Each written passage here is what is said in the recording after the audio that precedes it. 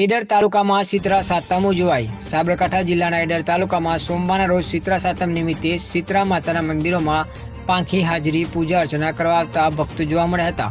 હાલ શ્રાવણ મહિનાનો મહિનો ચાલી રહ્યો છે, ત્યારે એક પછી એક તહેવારોની શરૂઆત થઈ છે, પરંતુ ચાલુ વર્ષે કોરોના મહામારીને લઈ ભક્તોની પાંખી હાજરી જોવા મળી છે. સામાન્ય દિવસમાં સિત્રા સાતમના રોજ મંદિરોમાં મોટી સંખ્યામાં ભક્તો માતાજીના દર્શને કરી કંકુ રોડી માતાજીને ટાઢોળી ચડાવી પૂજા અર્ચના કરતા હોય છે.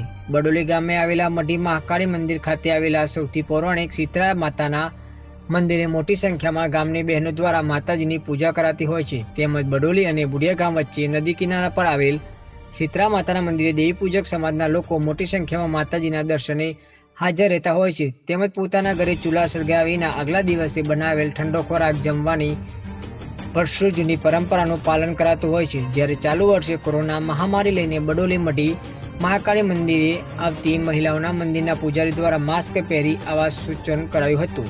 તેમજ ડિસ્ટન્સ જળવાય તે માટે એક પછી એક વારા પરથી પૂજા કરવા દેવામાં આવી હતી.